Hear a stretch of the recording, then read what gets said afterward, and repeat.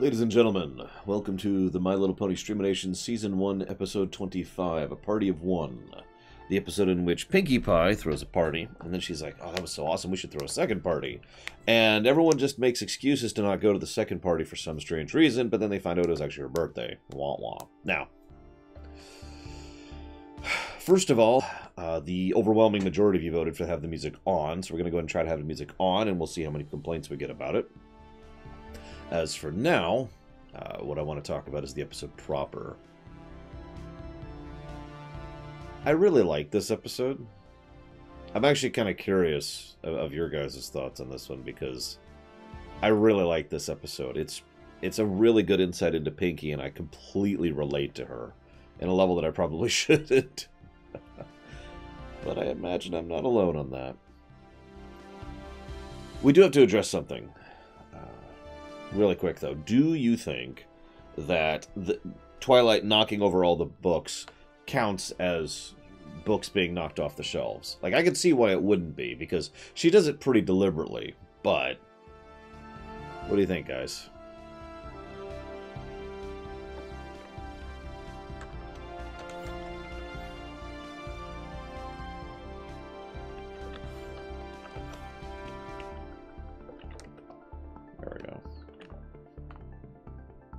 Look at the chat over here. I mean, they re do really. It's it's it depends on the intent of things because they really like to have those books not being in the shelves. I'm seeing a majority saying that it does count. I don't mind counting it. Like we haven't gotten to the point where the series is going to have Ponyville attacked by a monster of the week semi-regularly. At which point, it'll become a little more common to have them knocked off the shelves. Oh my god, they did such a good job with the facial animation. I know it was no, I actually made a note of that even uh, about how good of a job they did animating her facial expressions. I mean, the animation quality in this show in general is top notch. That's not really super surprising. Let's go ahead and count it. Let's go ahead and count it. So that puts us up to eight books knocked off shelves. So, I like how at the beginning they stretched the song uh, uh, out across her inviting everyone. Like, I know that sounds like such a minor and stupid thing to comment on, but that's actually a good cinematic technique right there, which is something the show does in general. So, in other words, rather than showing us the whole song multiple times or just showing it once and then implying that she invited the others or whatever, they decide to show us basically a slice iteration of each time. But each time she gets a little bit more worn out because she's you know, been doing this over and over and over. It's it's a really good cinematic technique. That's I just wanted to comment on that. And of course, poor Pinkie getting all worn out by the end. However, there's one other thing I wanted to say about the the the song that she sings, and that is no need to bring a gift. Being there will be enough. Birthdays mean having fun with friends, not getting lots of stuff. I really like that line. It's actually two lines, but whatever. I really like that line. Because that's kind of how I tend to think of it. I mean, don't mistake me, I love giving. But I never ask for anything for my birthday. Or Christmas or anything like that. It's just, yeah, let's go have fun. It's it's a nice line. It's a nice line. And of course, you know, her saying that to Rainbows is fun and blah, blah, blah. And meanwhile, Hasbro's like, no, you should buy all our stuff. And then Hasbro explodes. It's strange. Anyways, so. So we have the party. Looks like it would be a mess to clean up after, doesn't it? Although I guess if they have a good vacuum, which, I mean, we see her cleaning up parties in the future, so whatever. Bobbing for apples. They've got punch. They've got dancing. They got music it really does look like what someone would refer to as a party for children. That is to say, something where you're just hanging out, right? And there's nothing wrong with that. Just just hanging out, basically. You know, with music and with decorations and punch and pie. And I just wanted to mention that since it's interesting I don't know about you guys, but at the point that I'm at in my current life, if I was to arrange a party for someone of my age range, there would probably be activities baked in, right? In fact, if I'm being completely blunt, would probably go back to my college years. Eh, actually, probably high school. But no, it's just them hanging out. it's just something that's kind of cool about that. I just wanted to comment on. But it's also important for something later, so I wanted to address that first. So there's no easy way to ease into this one. So let's just get this out of there. Uh, get this out there really quick.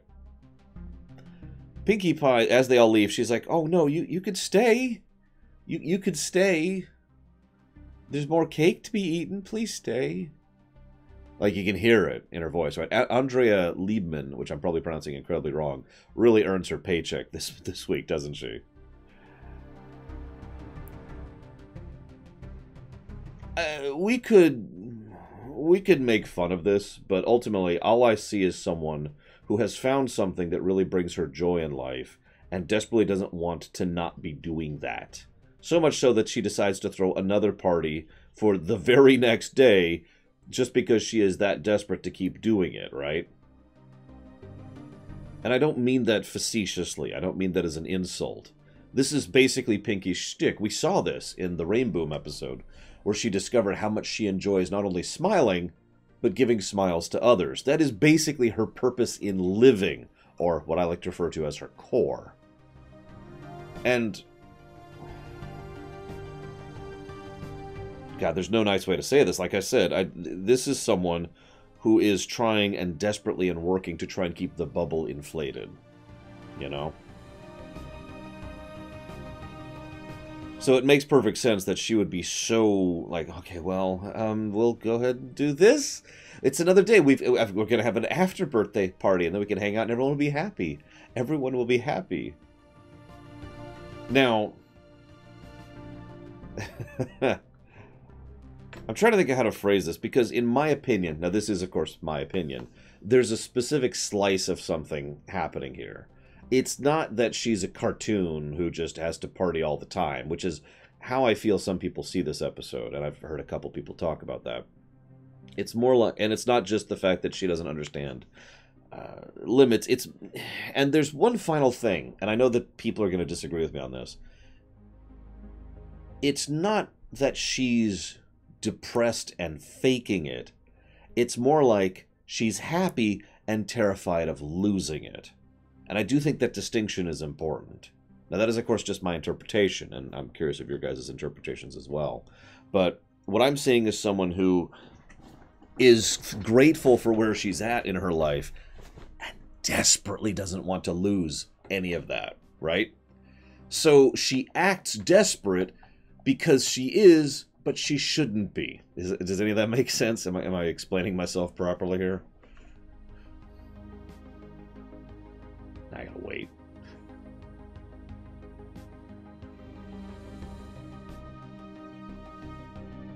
Actually, yeah, that's a great way to put that, Rascor. It's like having friends for the first time and being terrified of losing them.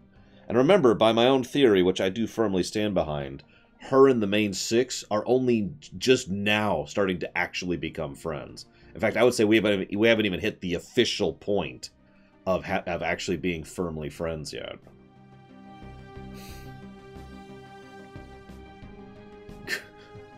Poor Pinkie. Now,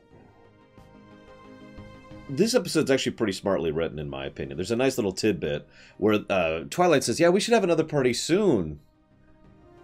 I mean, Pinkie's birthday is the next day, right? I'm pretty sure that was in her thoughts when she was saying that. You can't tell me Twilight, Misorganized, didn't know that. um, also, interesting to think that Gummy's birthday is right before her own. But anyways, so Twilight's argument is uh, books, books. There, okay. Yeah, exactly. Ect, uh, Echtklug. I always pronounce her name wrong. I'm so sorry. Echtklug. Echtklug.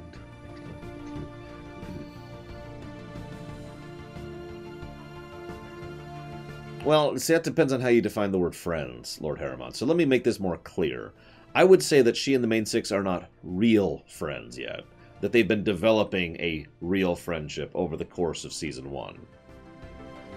That at the beginning she probably was kind of friend. I mean, there's even an episode that shows that Rainbow Dash actively didn't like being around her until the the prankster episode, at which pace Rainbow Dash started to enjoy her company, right? So she's what I would refer to as acquaintances with everyone in Ponyville, with Rarity and with Fluttershy and with Mrs. Cake and with the the mayor and you know all the all the ponies, right? But real friends, no, that's been developing. You'll notice only the main six were invited to both parties, by the way. Anyways, yeah, there's friends and then there's Real friends. So uh, Twilight needs to pick uh, to pick apples. Twilight needs to pick up her books, and Applejack needs to pick apples. By the way, am I the only person who noticed that while all of them are bad liars, Applejack is by far the worst at, at lying? Which I mean makes sense, but it's just amusing that they bothered to actually point that out throughout the episode. And then uh, apparently Rarity is a slob. Did you see how much trash she had to take out? And that wasn't pleasant looking trash either. And of course, Spike has a crush on Rarity, so we're going to go ahead and add to the Rarity crush counter, which is now up to five. I'm really curious when this counter will stop ticking up. It'll happen. Yeah, we, we need to pick apples because that's what we do. We, we... Anyways. so she has to wash her hair and actually dunks her hair in the trash just to make it work. Or Rarity. Although, if you ever wonder how much of a friend Rarity is, probably Ect. Kluk. Um, sorry, sorry. I'll just try. I'll try to just say act. No promises. So let's see. Then, then, then there's the sequence where, where they're actually it, it, it's it's really good animation. Rainbow and Fluttershy physically animate as they give their lies. I can't do German. I've never been able to do German, dude. Like I have actually studied German. I have like if you go up two generations, excuse me, three generations. Yeah, three generations up, you have people who were born in Germany in my family. I still can't do German. Anyway, sorry. Hi. So the uh, Rainbow Dash and Fluttershy start actually animating as they're talking about you know their, their respective lies and as they animate they actually screw up their own animations as they're starting to screw up their own lives it's actually just a very very small point that i bet most people didn't even notice and it's really good just excellent animation in the show and of course they're like wait uh, yeah what no sorry uh oh, look at the time i, I gotta get going so then finally she's like huh okay well I guess that's that's getting a little suspicious. I mean, it makes perfect sense that they have to go house sitting for a bear, but what about everyone else? Of course, Pinkie would believe that one the most. This then leads to, uh, yeah, of course, of course, Rascor. This then leads to the spy music section, which I actually have to admit I enjoyed more than I thought I would. The, you know, the pseudo Bond, James Bond kind of thing, or maybe kind of Pink Panther leaning. You know, just do do do do do do, and. uh there's this interesting bit where Pinkie has a line where she says, But we're friends. What wouldn't Twilight want me to know anything about? Now, aside from the fact that it's a very strangely constructed sentence, it's interesting to think about, isn't it? Now, you don't have to answer this question, but how many of you have things that you keep from your friends, for whatever reason? Maybe it's just something that's personal, or maybe it's something you're embarrassed about. Or maybe it's something that's just none of their business. Or maybe it's something that doesn't have anything to do with anything.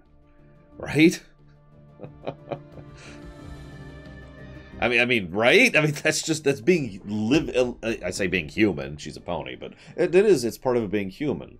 It's one of those interesting things, and I bring this up because this has actually come up in far more serious shows than this one. Uh, the idea and discussion of you know, only only the guilty keep secrets. And it's like, no, that's stupid. Everybody keeps secrets. yeah, we're to be talking about that right after this one, Nova Knight. We're to chop off, watch it, and then we'll chop back on for it. Now, that's true. P uh, J. Maria Graywell has a good point. Pinkie Pie has an encyclopedic knowledge of everyone else in Ponyville. That'll come up in Season 2 as well. And... I think Season 3 and then you know it'll just keep coming out. Let's just let's just lay it down because as I was thinking about, it, I thought of like three separate episodes where that comes up. So yeah, if you don't have anything to hide, why don't you want me to invest? If you have nothing to hide, why not allow me to investigate you? Anyways, yeah. So moving on. so there's this bit where Pinkie Pie has a line, and she says, "I thought everybody loved my parties." That one kind of hit. You know, that. Uh, I thought everyone loved my ruminations. You know, I know that's a dumb example, but I bet several of you can think of something in your life where you could basically replace whatever instead of parties. And yeah, So we see Pinkie super speed again as she chases after Rainbow. And Applejack is then once again absolutely terrible at lying. Yep, we're working on a new barn. Drill, drill. And this is also where I wrote down my note. I told you I wrote it down where I said the expressions, Pinkie's expressions are fantastic. Meanwhile, Spike is incredibly ignorant. I actually really like the interrogation scene. But I can't be the only one who noticed that what he does is he pulls a Pinkie Pie on Pinkie Pie. He is so innocently ignorant of what she's doing and talking about that he just responds to everything forthrightly, which basically means he's not actually responding to her the way she's responding to him, right? And he and yeah, there's this horrible line. I actually wrote it down, uh, word for word. Tell me what you want me to say, and I'll say it. And then when she says it, he repeats her word for word. Although I do have to mention one other thing. Rarity, total knockout. Twilight thinks I don't have a shot with her, but what does she know? But yeah, very unintentionally. And and he, he just repeats exactly what it is. And he doesn't even realize what's going on. Although I love the part, confess! Okay, it was me. I'm the one who spilled juice on the book. Confess! I was the one who got rid of all the hot water by taking a seven hour bubble bath. By the way, a seven hour bubble bath? Doesn't that get boring after like minute three? I, I don't know. Whatever. I, I stand in front of the mirror and go, looking good. Looking good. yeah, no. So he repeats her word for word and then her hair deflates. Now, I think so, Jim Marie Grierval. Not the last, certainly, but I believe it is the first.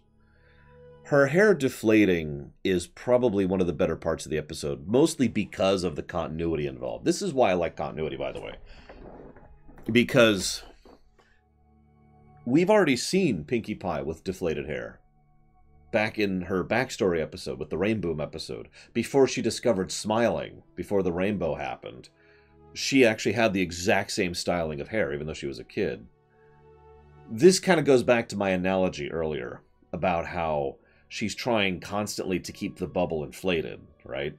And she's so desperate to not lose it because at all times she is afraid of losing it, even though there's really no good reason for her to be that afraid. And I don't mean that as an insult because I understand it perfectly well. Because what she does is she doesn't really expect the worst of them. Not really. She expects the worst of herself. Right? I mean, it's not their fault they don't want to hang out with her. Not really. After all, she's the one who's not good enough to be hung around. It's her parties that they don't enjoy. It's her presence they don't enjoy. It's her they don't want to be around right? I wasn't good enough, and now I will lose everything. No, we outs. If we use a callback counter, it would just be a continuity counter, and it would go through. Oh, I mean, we could do that, but I have to kind of all. We'd already have to go back and come up. That's not a bad idea, though. Having a continuity counter. I'll have to think about it. It's her fault, and I don't know about you guys, but I know that one extremely well. I know exactly what that feels like. Just. Yeah. How many of you have ever had a thing where you have basically been like, oh, you know, such and such. Therefore, logically, the only possible explanation is that I have failed.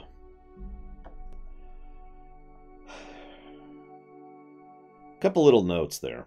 Yeah, I know, right, Ect? Couple little notes. First of all, Andrea Libman, I don't have no idea how to pronounce her name. She does a really great job with the the party she does with all the pieces. Second of all, you notice the party that she throws when she's in this state is more like a formal. like a capital F, a formal. Oh, yes. Could you please pass a little bit of additional thing? Yes, I would be most obliged by this, thank you very much. You know, that kind of a thing. Which is interesting in its own right, especially in total contrast to the party both before and after. A tea party, yeah. Um, the second point, and I, I have to point this out, even though it's just a really minor point, Madame LeFlour asks for more cake Madame or Madame Le Flour, the, the, the bag of flour, asks for more cake. Anyways. so obviously Rainbow Dash comes by and shoves her back and she realizes what the party is about and blah blah blah. But I really, really love that insight into Pinkie's character, that self-loathing and that fear. There's actually a lot of different types of fear in real life. Um, there's survivalist fear, you know, a T-Rex is chasing you. There's rational fear, you know, oh God, I'm, I'm worried I'm going to lose my job in the next round of layoffs. Then there's irrational fears, which are called that for a very specific reason. And I would argue very strongly that what Pinkie Pie is going through here is an irrational fear. That this is something that she is afraid of with no actual reasonable, logical explanation to be afraid of it. Which makes very, yeah, I was just say it's very fitting for Pinkie Pie to feel that way. And I think episodes like this are one of the reasons why Pinkie Pie, despite her weirdness, is still a character I enjoy. I enjoy Pinkie Pie when they write her well, is really what that boils down to. Every now and again, they, they like to write her as kooky without reason. You know, basically writing her off as if she's just weird, the end, and that's like the full extent of her character. That always irritates me, mostly because it's doing disservice to the character we see in this episode.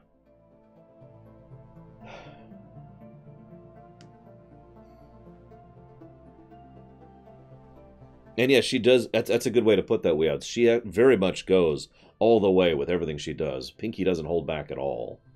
In fact, that'll actually cause her issues later with Maud. I like the idea of a continuity counter. Um, so let's go ahead and add one for this episode. Oh, God, I'm going to have to figure out how much continuity there's already been in previous episodes. I know there's been at least a bit. Hop, skip, and a jump comes to mind immediately. We'll have to figure that out because next week, that is to say, next episode, which is actually going to be happening in about 30 minutes, we're going to be adding several continuity counters. We could also just start it at season two, or start it here. Either way, I'm going to go ahead and chop off the local recording.